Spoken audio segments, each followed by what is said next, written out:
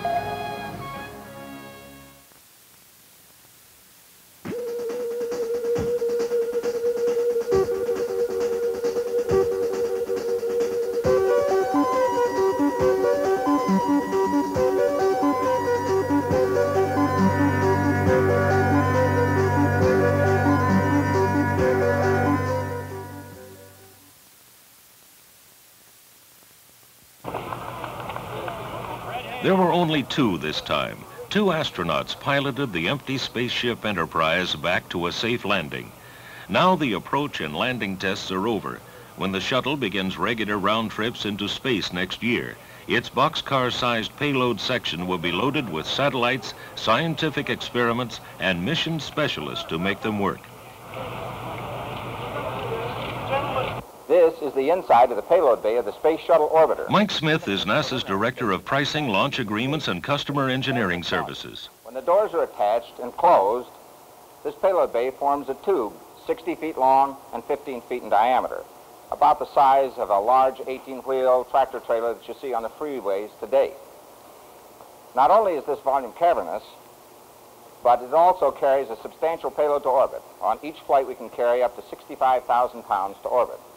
A unique capability that we have with the shuttle is a remote manipulator arm that has a shoulder, elbow, and wrist, and a grasping hand which, which can be controlled or manipulated from the cockpit remotely. This remote manipulator arm is used to grasp a satellite in the payload bay, deploy it over the side, where the payload can then be checked out. If it's found that there's something wrong with the payload, it can be grasped, replaced back in the shuttle payload bay, secured, and brought down to Earth for repair. Communication satellite users can save as much as $9 million on a launch.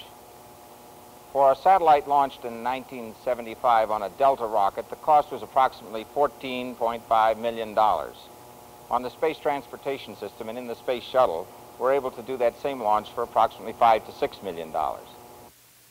Another type shuttle user will be those working on Spacelab.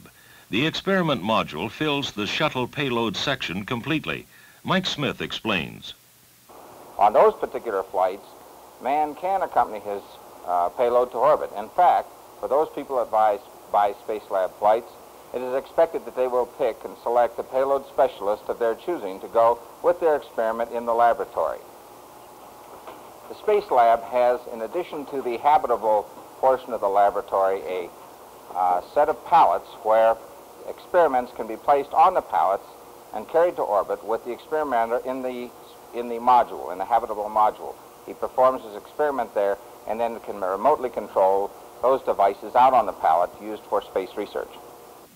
These students from schools in the state of Utah are preparing to fly their own experiments into space, starting in 1980-1981.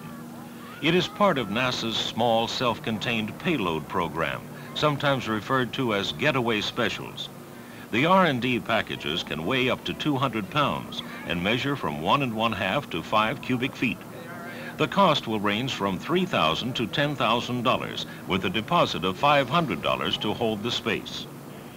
Enterprise, you're cleared to start to turn. In addition to schools, individuals and companies large and small are reserving future space on the shuttle. Some of the areas of greatest interest are in materials and medical research. Here are just a few of those who have already reserved space. Dow Chemical, Johnson & Johnson, Battelle Institute, British Aircraft Corporation, Magnetic Controls Company, Versa Steel Corporation, Automation Industries Associates, and the General Electric Space Division. The Shuttle Orbiter, NASA's new transportation system with space available. We'll see you, babe.